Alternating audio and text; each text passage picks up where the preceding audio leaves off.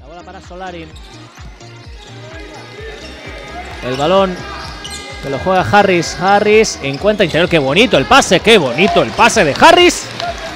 Y Tamba que tuvo la gentileza de convertirlo en dos puntos.